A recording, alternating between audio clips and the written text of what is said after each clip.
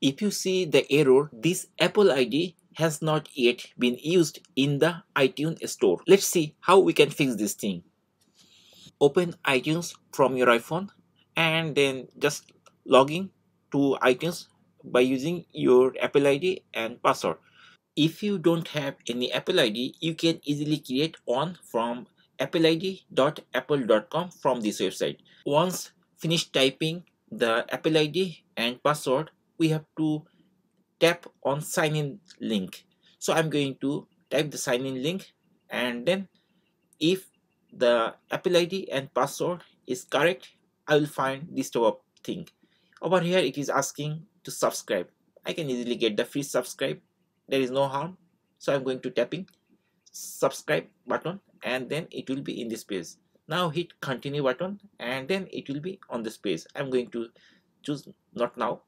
Go to the app store and then hit continue button. Search any random application and then try to install it. By pressing get it will ask like this or we can cancel it. We can go to the application and then we can install the app. And here we can tap the install button and here it is asking the apple id and password.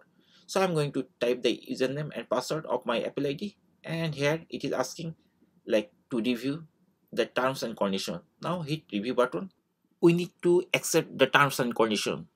In this page we just need to tap on agree to terms and condition. Once you tapped it will be green color. That means we agreed. Tap on the next button or link and you will find this page here we have to put our address on physical address which is valid. So i'm going to complete the whole information and once you complete the whole information tap the next button again.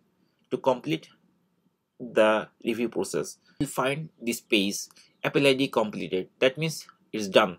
The review process is done. Now close it and then try to install the application again. I'm going to install the same application by hitting get and then install button. And i'm i typed my password. Once the password is fine then we'll find this type of thing. That means the application is going to install shortly. And that's it. You can easily fix the tap review to sign in that looping error continuously